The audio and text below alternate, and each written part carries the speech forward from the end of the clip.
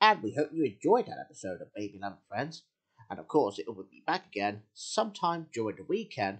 This is why it will be on the weekends from now on, but when RWT gets launched, after GTV, of course.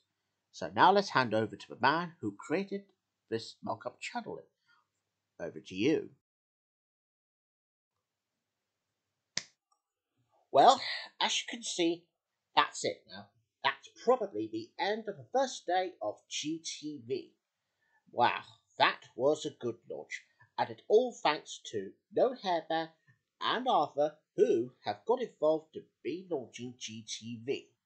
Mind you, um, GTV is probably named after FTV, so it's basically F and G. Get it?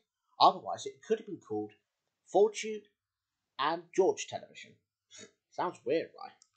But can I be the first to say thanks again for tuning in to GTV? And of course, Children's GTV will be launched tomorrow morning, for where me and O'Hare will be doing some presenting of a program. And of course, on Tuesday as well, don't forget to check out uh, Bryn's um, continuity.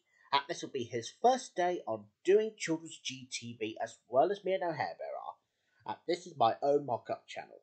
So, thanks again for tuning in, and we'll be back again tomorrow morning. So, an answer from me, George Buxton, who is very good at announcing, which I will do from now on. So it's time for me to say good night and have a good night's sleep. Bye bye for now.